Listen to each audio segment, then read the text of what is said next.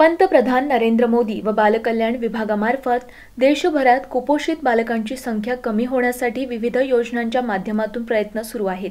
त्यातीलच एक भाग म्हणून मंगळवारी भारतीय जनता पार्टी महिला मोर्चा पनवेलच्या वतीनं नवीन पनवेल येथील अंगणवाडी क्रमांक दहा मधील विद्यार्थ्यांना खाऊचं वाटप केलं.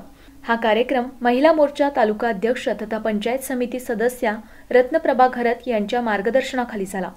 संपूर्ण देशभरात कुपोषित बालकांसाठी अंगणवाडीत एकाच वेळी पोषण मूल्य आहार देण्याचा कार्यक्रम यशस्वी करण्याचं ठरवण्यात आलं होतं.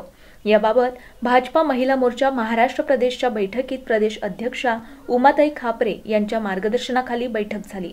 यामध्ये त्यांनी लहान मुलांना पोषण मूल्य असलेल्या आहाराचं वाटप करायचं आहे केळी इतर फळं चिक्की ड्रायफ्रुट्स राजगिरा व इतर पौष्टिक लाडू उकडलेली अंडी असं पोषण मूल्य असलेला आहार वाटप करण्याच्या सूचना दिल्या होत्या.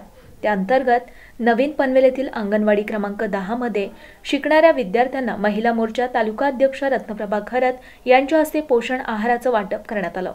यावेळी पनवेल शहर अध्यक्ष वर्षा नाईक सुहासिनी केकाणे अंजली इनामदार मनीषा चिले बालवाडी शिक्षिका रेश्मा शेरखाने पवार मॅडम यांच्यासह महिला उपस्थित होत्या.